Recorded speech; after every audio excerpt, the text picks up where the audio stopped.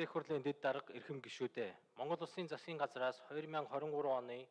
6 дугаар сарын 2-ны өдөр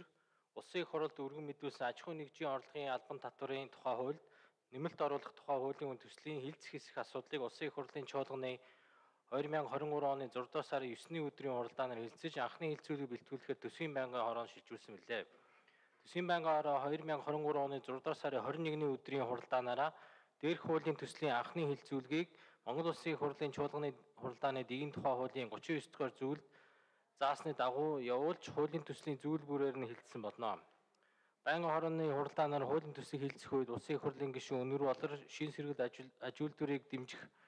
бодлогын хүрээнд эрчим хүчний их үүсвэрийг нэмэгдүүлэх асуудлыг дэмжиж байгаа хэдий ч түүхийн нүүрс ашиглах асуудлыг дэмжихгүй цаашд эрчим хүчний их үүсвэрийг нэмэгдүүлэх дэвшилтэд технологи ногоон санхүүжилт зэрэг олон арга зам байгаа тул иргэдийн эрүүл аюулгүй байдлыг хангах зорилгоор хот хөдөөгийн ялгамжтай байдлаар зохицуулах нь зүйтэй гэсэн саналыг хэлсэн. Улсын их хурлын гишүүн өнөр болор төслийн 1-р зүйлийн дараа тайлбар хэсэг гэж хэсэг болгож үйлдвэрлэх гэдэг гэдэгт нийслэл Улаанбаатар хотод түүхийн нүүрс болон стандартны шаардлага хангаагүй түлшийг ашиглах тохиолдолд энэ заалт хамаарахгүй гэж нэмэх зарчмын зөрүүтэй санал гаргасан боловч Монгол Улсын их хурлын чуулганы уралдааны дэгийн тухай хуулийн 40-р зүйл хуулийн төслийн заалтын үг өгүүлбэрийн дараа бие даасан агуулга бүхий үг өгүүлбэр нэмэхийг хоригдсон тул зарчмын зөрүүтэй саналын томьёолыг хураалгаагүй болно.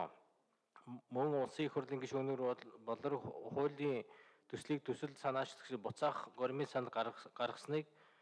байнгын хорооны хуралдаанд оролцсон гишүүдэд олох дэмжээгүй болно. Аж ахуй нэгжийн орлогын албан татварын тухай хуульд